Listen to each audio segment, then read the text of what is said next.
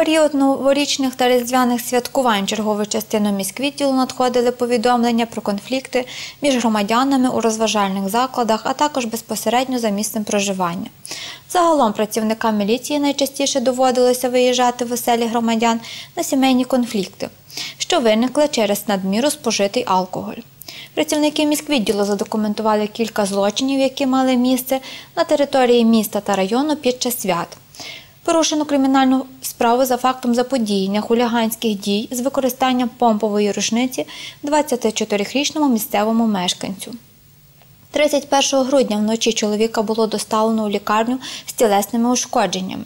За підозрою у вчиненні цього злочину працівники міліції затримали 37-річного жителя району. Затриманий притягується до відповідальності за вчинення злочину, передбаченого частини 4 статті 296 Кримінального кодексу України хуліганство. Дільничні інспектори міліції задокументували два факти зберігання та реалізації фальсифікованих алкогольних напоїв. Так, в одному випадку правоохоронці встановили причетність коломиянки до зберігання з метою збуту 20,5 літрів підробленої горілки. А в іншому, в ході проведення огляду помешкання 65-річної жительки району, виявили та вилучили 59 літрів спиртової суміші. Вилучені фальсифіковані алкогольні напої відправлено на дослідження.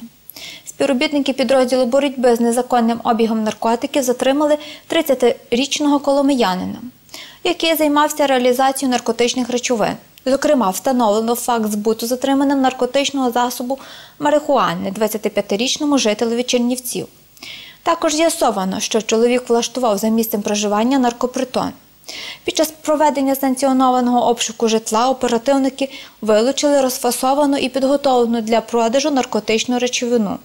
Дана особа взята під варту і притягуватиметься до кримінальної відповідальності за вчинення злочинів, передбачених частиною 2 статті 307 збут наркотиків і частиною 1 статті 317 організація або утримання місця для незаконного вживання чи виготовлення наркотичних засобів Кримінального кодексу України.